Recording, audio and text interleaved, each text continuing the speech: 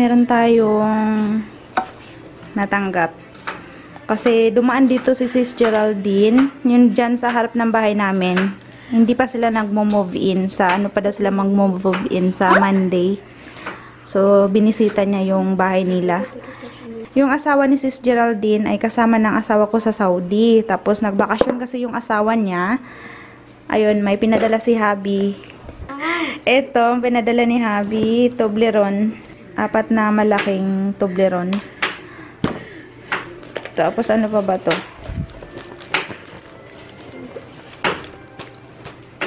Ito. Ano pangalan na? Ano to? Ah, ito yung ni-request ko kay Erwin. Sneakers. Ano to? Yung...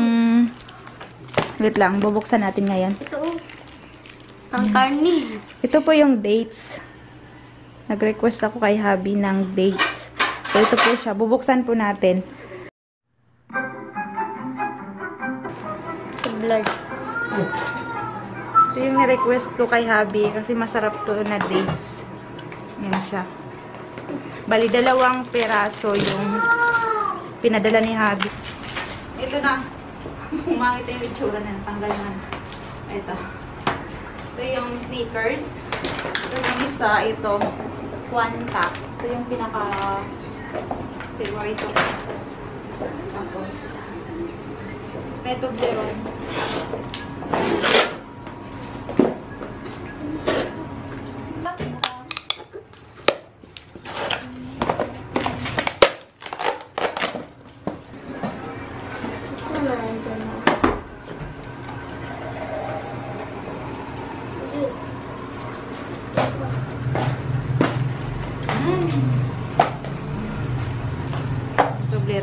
Ah, bubuksan natin ano? tong isa para matikman nila.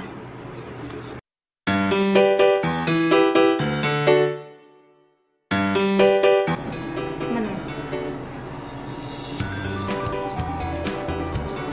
Ano? Ume. Lami.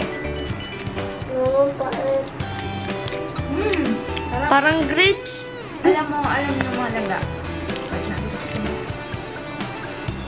Maraming benefits to lang. Masarap. Parang ano?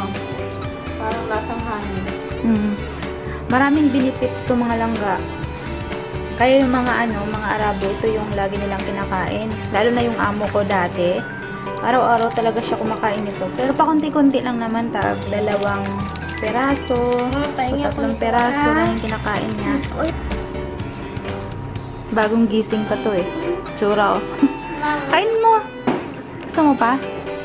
Okay. Naniliso ah. Maliit lang. Naniliso.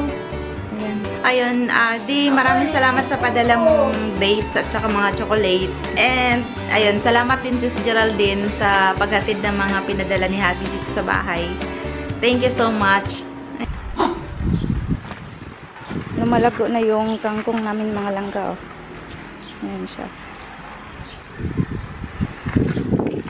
Malakas yung hangin.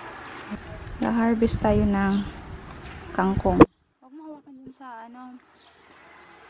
Dito mo, huwag kang mahawak dito kasi speaker dito lang. Oh. Ah, harvestin natin mga langga kasi pwede na naman siya. Palopat naman yung mga...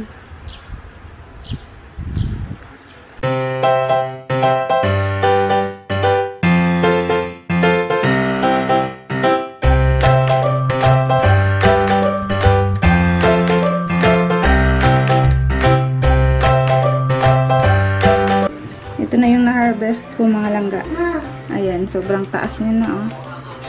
Ayan. Ayan mga langga, nagprito ako ng isda. Ano ata to eh? Peret. Tapos nalagyan ko nito tasty boy. Ito yung ulam namin ngayon. May bagoong kamatis at saka kangkong, okra na nilaga, talong. Ayan mga langga, luto ng ating piniritong isda. Ayan, kain na tayo. Sarap oh. Malutong. Mmm. masarap talaga pag ganito yung ulam. Para sa akin, masarap. Ayan mga langka, dito kami kumain sa lapag. Maluwag dito. Masarap kumain pag maluwag at saka nakayama. Para sa akin. Nilinisan ko na dito yan kanina. Bago ko nilapag yung mga pagkain. Oh, nabuot yung. Kawal siya. Mm, masarap. Hindi. May kawal siya sa kalaban. Asan na ako? Ay, ang mangga, matamangga. Ako, bungkag. Ha? Two hours later. Gawa po kami ng mango float ng malangga. Ayan. Nice. Ma'am. Ihalang mo na dito.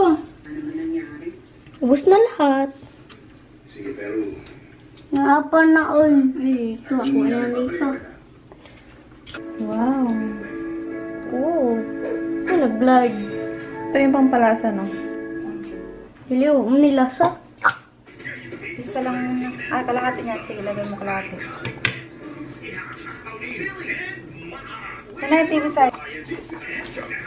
Kasi nalalo ang mga parang niya. Kutsarahan lang. Ano.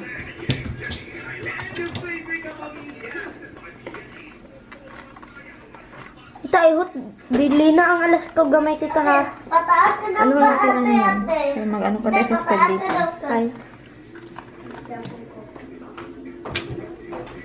Wow, na color.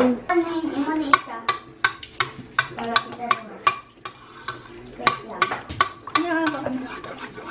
Sa itlog.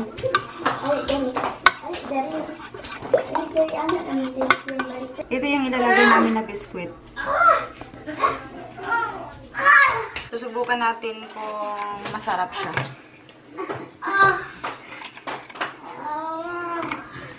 Sana yung malaki na lang. Hmm?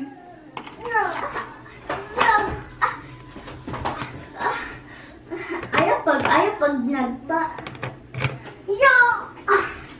Ayaw na! Ano, nagigda daw ka. Nagigda sa. Ayaw na pag-power. Pa-power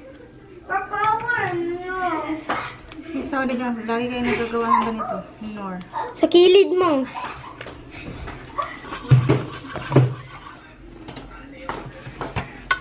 Para.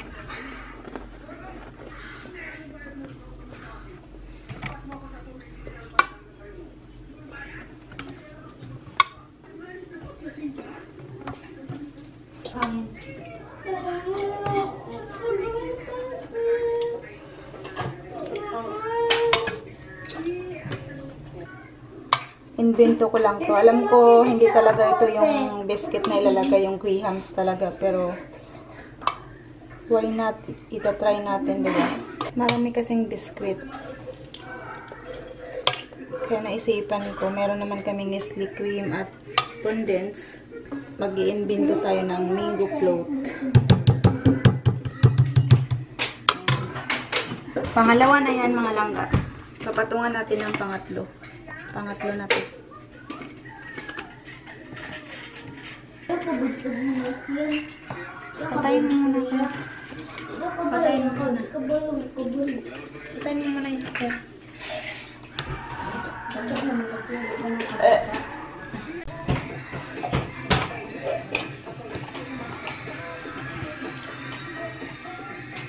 Pag-istorya, pag mo. Ayan. Pag-istorya. Ayan. Ginawa ko mga langga, ang mango dito na sa pinakaitaas ko ipapatong.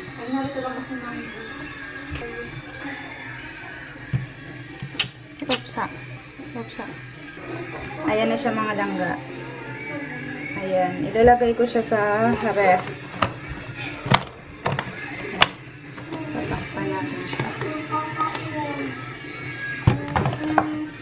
Ayan. Three hours later.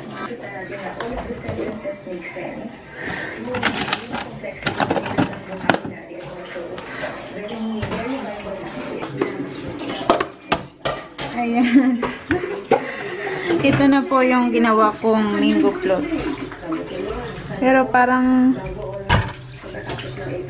parang nag-ibang kulay. May bawas na siya kasi Tinikman ko na yan. Masarap siya. So, ayan. Lahat ng pamilya, hindi nila mas kailangan puntahin ng puntahin. Kailangan dalhin sa kung sino mang mental Yan. professional. Ayan po siya. Ayan.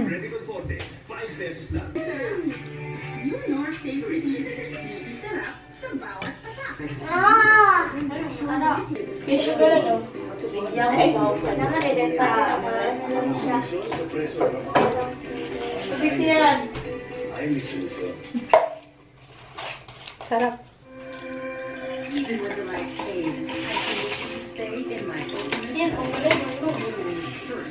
Um. Mom. I